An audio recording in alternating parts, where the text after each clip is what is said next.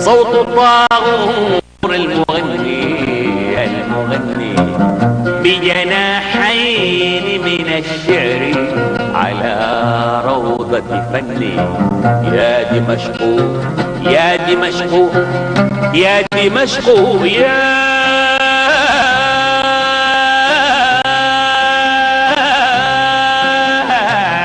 يا دمشق كلنا في الفجر شرق يا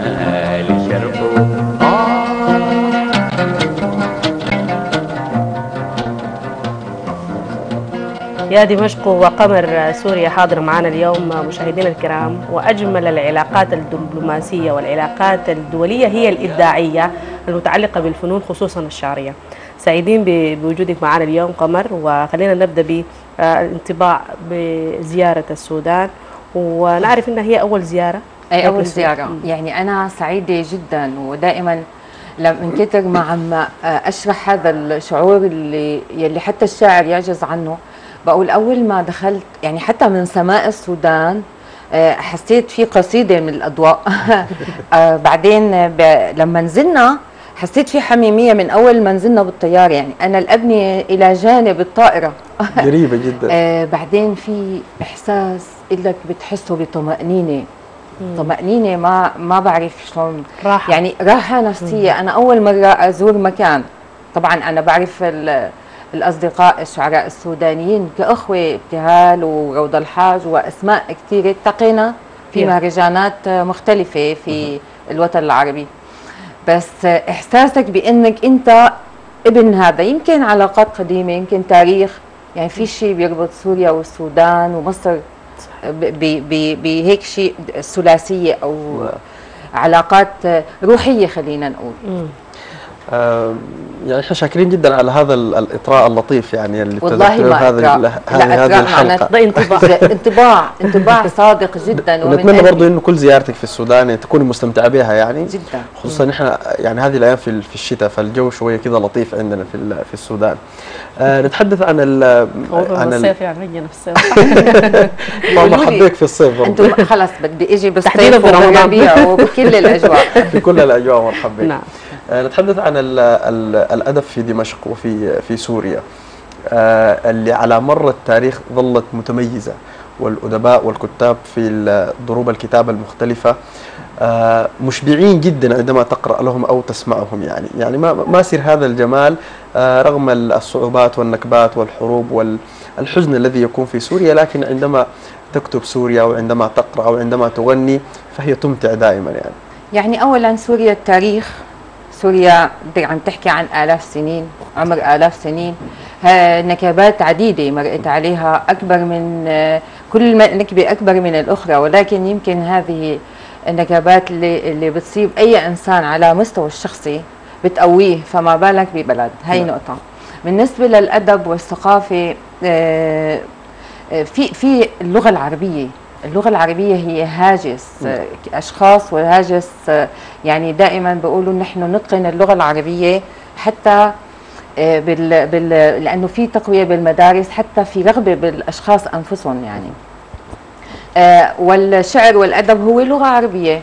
آه، أولا يعني أي حدا بده يكتب بده يكون متقن هذا هذه اللغة هذه ال- الصرف والنحو والكذا.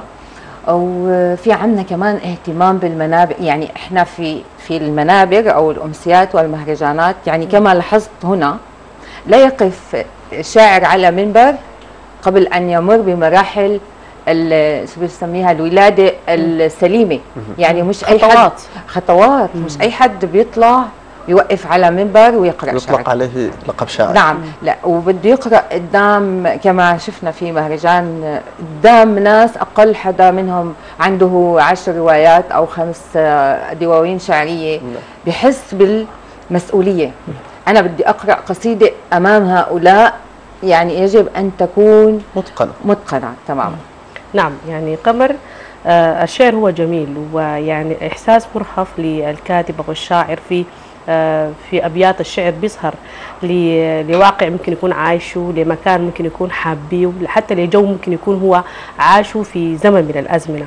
حنطلع من تقليدية السؤال ونسألك آه، وتعلي لنا عن أنت بتكتب الشعر من أنت في رحم أمك. كيف تعللي ذلك؟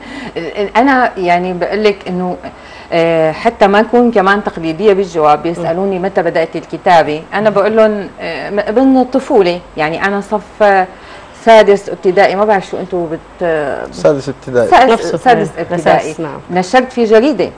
آه، جريدة الشباب وأدب الشباب ولهيك آه، فلهيك بقول هناك في رحم أمي كتبت أول قصيدة بدليل أنها ظلت في المشفى تعاني من نزيف الحروف.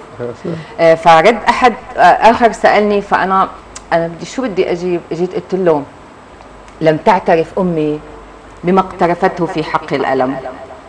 هي دائما تحكي عن الفرح المسافر منذ أرقها مجيئي عن محاولة اغتيالي حين كنت برحمها.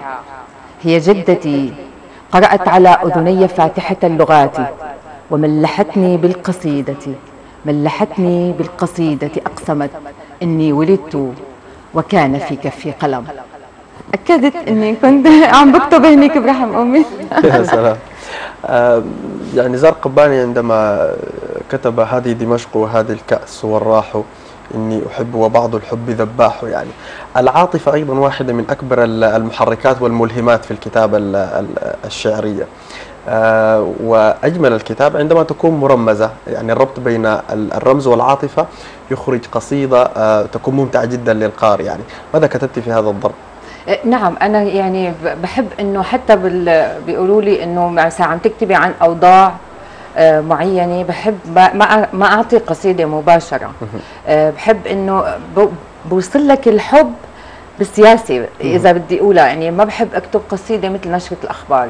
يعني مثلا بقول آه، لكن ما أنا- عاوزين أنت بتع- عاوزين قصيدة نسمع كاملة قصيدة و قصيدة كاملة؟ أيوة.